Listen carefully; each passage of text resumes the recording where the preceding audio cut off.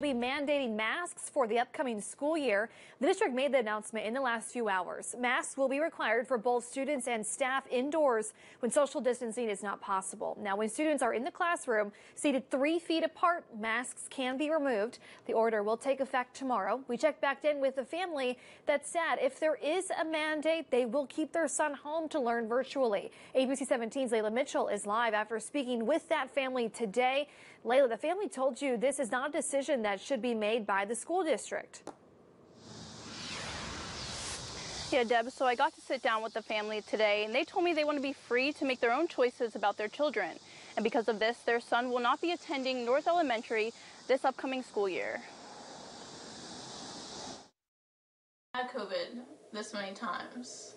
Why are you so against the mask and the vaccinations that are supposed to keep people safer from COVID? If you give up your freedom to do and be who you want to be, then you're not free. Jared Payman, who has had COVID 19 in the past, told me he does not think masks stop the spread of the virus. Just be the parent's choice. There should be no question about it.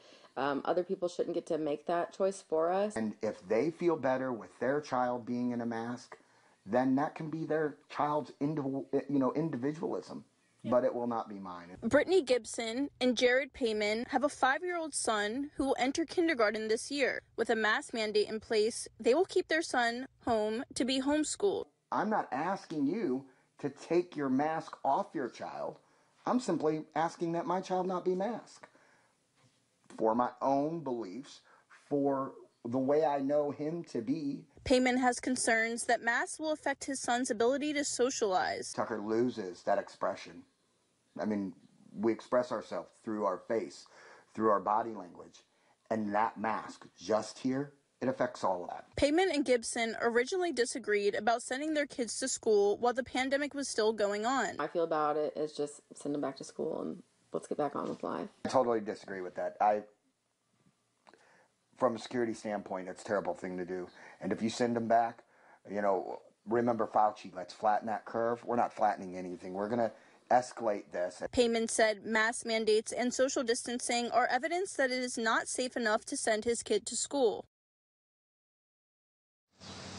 And like Deb told you earlier, the masking decision will take effect in all Jefferson City schools starting tomorrow. For now, reporting live in Holts Summit, Layla Mitchell, ABC 17 News. Layla, thank you.